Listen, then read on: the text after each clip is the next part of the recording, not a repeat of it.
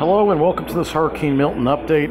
Uh, I have to do this from my phone because I'm still out because the storm is moving way faster uh, than I expected. Uh, it's about to make landfall in the next hour or so, which is well ahead of schedule. Uh, models really underestimated the pull that the uh, upper air currents would uh, do, but looks like the eye wall, the northern eye wall, is going to be hitting Tampa. The eye is going to actually be going over Sarasota right now. That's what it looks like right now.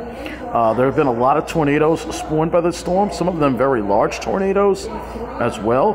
Um, let's go look at uh, the latest advisory on Helene. I'm sorry, not Helene, uh, Hurricane Milton.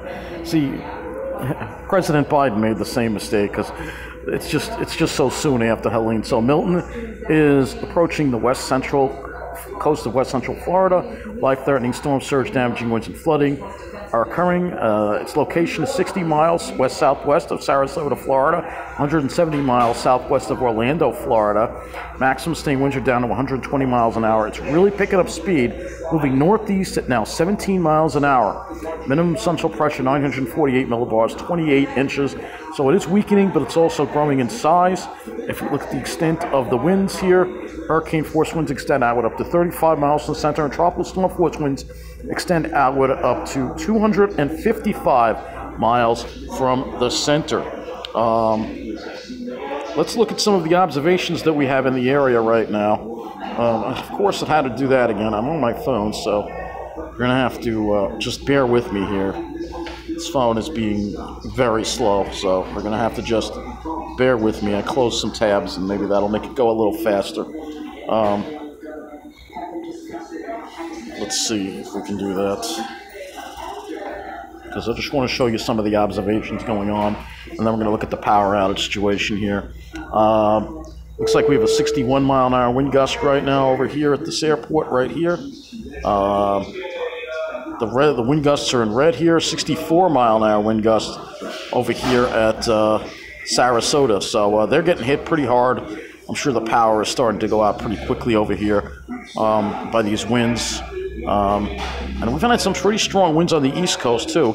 See tornado warnings. Um, if we go to poweroutage.us, um, which we'll do next, let's try this. We'll show you Florida here. Now up to 268,000 customers without power. Uh, and you can see the hardest hit area is actually on the East Coast, believe it or not. Uh, some of these counties. One of this county, Indian River, almost completely blacked out. That might have been due to a tornado.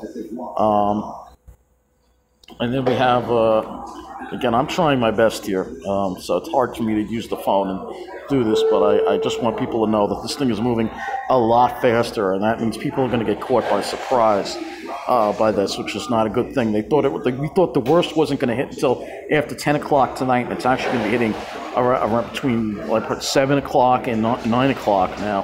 Uh, it's going to be making a landfall. Uh, actually, probably making a landfall within the next hour or so. This point, the rate it's moving, it's moving very, very fast. Uh, let's just look at the. Uh, I just want to put a Milton tornadoes. We're going to just do a search on Milton tornadoes, just to show you what's been going on here. Uh, social media. Uh, let's try this. Um, maybe we just don't try Twitter. Let's just do this. Milton tornadoes. Let's just do this here and uh, get some information here. if we can get some images of the tornadoes uh, that have been spawned by Milton, because uh, there are a couple of them here uh, tornadoes. Let's see if these are. Uh, yeah, this is one of them right here. Look at that wedge tornado. Uh, so there's some big tornadoes that were spawned. Very unusual to see. But anyway, I will have more later at our usual weather update time, 9:30 ish. Um, but uh, this storm is moving much much faster than anticipated. So the worst is going to be hitting Tampa in the next couple of hours or so. Um, so. Um, hopefully everybody is out of there and or, and or hunkered down. I'm praying for Florida.